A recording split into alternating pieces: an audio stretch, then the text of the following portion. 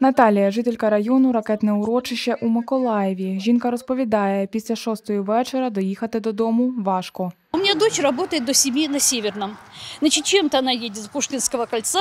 С Пушкинского кольца после 7 она едет трамваем троечкой до Конечной.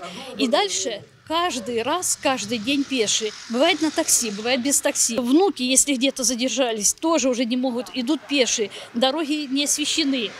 Ну, ну как вот может быть такое? Неужели хотя бы этот же зеленый 81 маршрут нельзя до 8 часов пустить?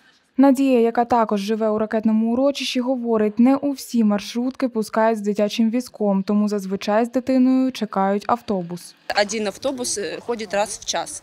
И как бы назад уехать с города тяжело, потому что автобусы бывают ломаются. Была такая ситуация, что я на третьей сидела с ребенком, с коляской, с сумкой. Водителя маршруток хоте- ну, нас не хотели брать, а автобусы поломаны. И как мне добираться домой?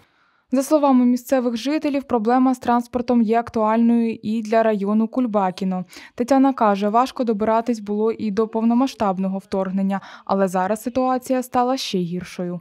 Якщо з утра виїхати, це можливо, це е, нормально. Якщо повернутися додому після сьомої години вечора, це ну, практично нереально. Оксана працює диспетчером 47-го маршруту одного з приватних перевізників на кінцевій у Кульбакіно.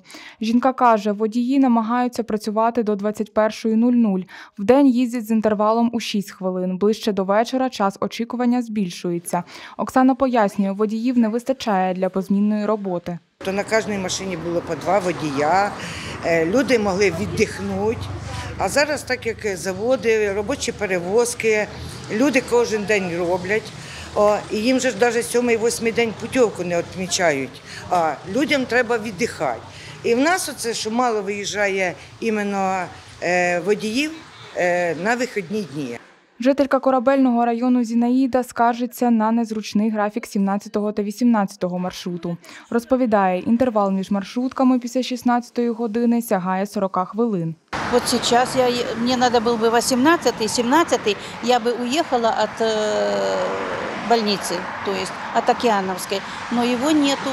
Жінка каже, зазвичай доводиться два квартали йти пішки по бездоріжжю. Директор комунального підприємства Миколаїв Пастранс Дмитро Тесленко говорить, підприємству не вистачає водіїв. Початком повномасштабного вторгнення, як і е, інші чоловіки, містяни, да, громадяни наші, так і наші водії були е, мобілізовані або добровільно пішли до лав ЗСУ.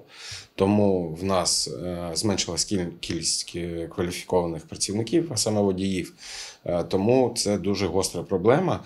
В нас е, вийшло так, що наш автопарк автобусів збільшився за останні роки на 200%. А такої кількості водіїв, щоб ми могли всі автобуси е, випустити на маршрут, у нас немає фізично. За словами Дмитра Тесленка, сьогодні підприємство навчає 15 водіїв, завдяки яким планують продовжити робочий день на маршрутах по місту. Аліна Ковальчук, Роман Волинський, Суспільне новини Миколаїв.